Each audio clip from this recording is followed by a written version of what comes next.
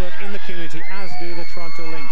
Serious cross, but taken easily by Weibenga.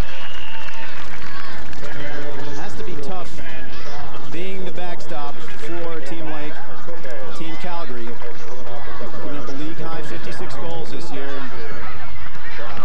Oh, he's another goalkeeper that's in the top 10 with saves. Oh, and that's a tough giveaway there. This is a layup and a goal. Sebastian Barclay. Well, not all the goals were keeper's fault, but that one. oh, the look If you says make a mistake there, you're going to be punished. And, and we saw a classic example there. Nobody expected that, least of all myself. Caught in mid-sentence. And Sebastian Barclay uh, profits from it all. Sebastian Barclay with his fourth goal of the season in the 16th minute here, and they don't come any easier than that to Coward.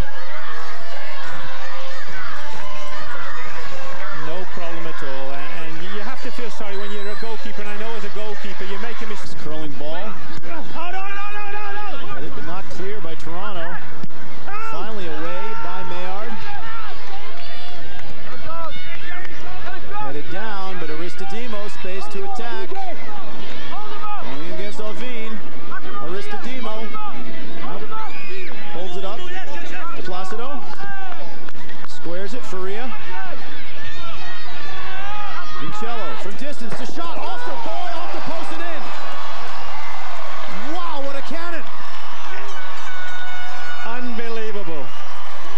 A great try by Mauricio Vincello.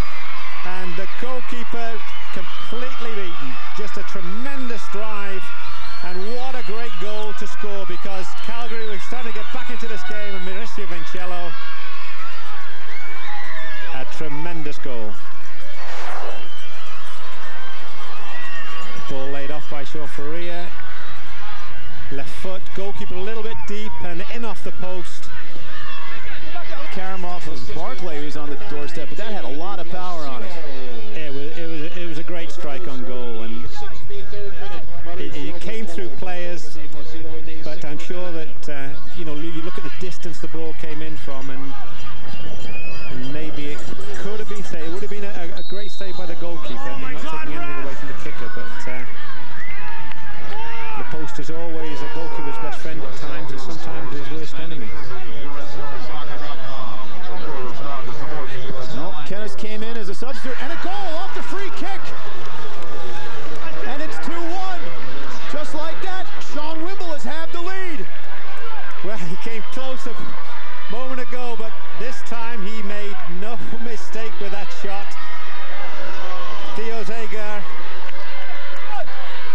obviously disappointed, but what a time to get a goal, to get back into a game. As soon as a team scores, then if you can get back into the game and